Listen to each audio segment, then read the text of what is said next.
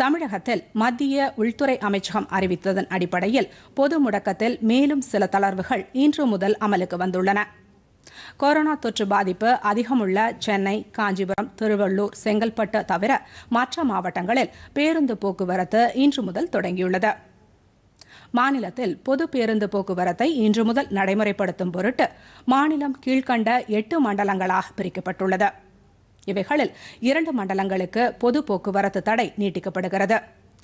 மண்டலம் ஏழில் உள்ள காஞ்சிபுரம் திருவள்ளூர் செங்கல்பட்டு மாவட்டங்கள் மற்றும் மண்டலம் எட்டில் உள்ள சென்னை காவல் எல்லைக்குட்பட்ட பகுதிகள் தவிர்த்து அனைத்து மண்டலங்களிலும் ஐம்பது சதவீத பேருந்துகள் மட்டும் இயக்கப்படுகிறது.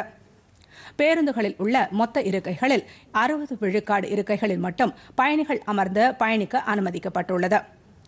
மண்டலத்திற்குள் பயணிக்கும் பயணிகளுக்கு இ பாஸ் தேவையில்லை என்ற நிலையில் பொது போக்குவரத்து பேருந்துகளில் பயணிக்கவும் இ பாஸ் அவசியமில்லை என்று அறிவிக்கப்பட்டுள்ளது.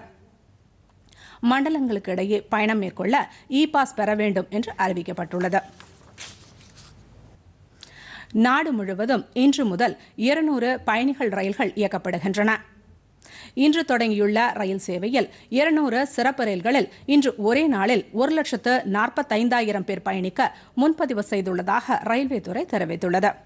துரந்தோ சதாப்தி கரீப் ராத் ரயில்களின் சேவை படிப்படியாக தொடங்கப்படும் என்று தெரிவிக்கப்பட்டுள்ளது. ரயில்வே அமைச்சகம் வெளியிட்டுள்ள அறிவிப்பில் திட்டமிட்டபடி அனைத்து ரயில்களும் இயக்கப்படும் என்று கூறப்பட்டுள்ளது. வரும் முப்பதாம் தேதி வரை பல்வேறு ரயில்களில் பயணிக்க இருபத்தாறு லட்சம் பேர் முன்பதிவு செய்துள்ளதாக ரயில்வே கூறியுள்ளது. ரயில்களில் கூட்டம் சேராதவாறு போதிய இடைவெளி விட்டு அமர்ந்து செல்ல ஏற்பாடு செய்யப்பட்டுள்ளது.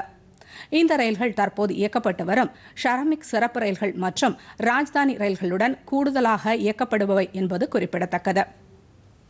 மத்திய அரசின் வழிகாட்டுதலின்படி அனைத்து பயணிகளும் ரயில்களில் ஏறுவதற்கு முன்பு உரிய பரிசோதனைக்கு உட்படுத்தப்படுகின்றனர். இதற்காக ஒன்றரை மணி நேரத்திற்கு முன்பாக ரயில் நிலையங்களுக்கு பயணிகள் வர வேண்டும் என்று அறிவுறுத்தப்பட்டுள்ளது. தங்கள் பயணம் முடிந்த பிறகு சம்பந்தப்பட்ட மாநில அரசின் உத்தரவின்படி சுகாதார நடவடிக்கைகளை மேற்கொள்ள வேண்டும் என்றும் ரயில்வே கூறியுள்ளது. ரயிலில் திரைசீலை போர்வை தலையணை போன்றவை தரப்படாது என்றும் அறிவிக்கப்பட்டுள்ளது.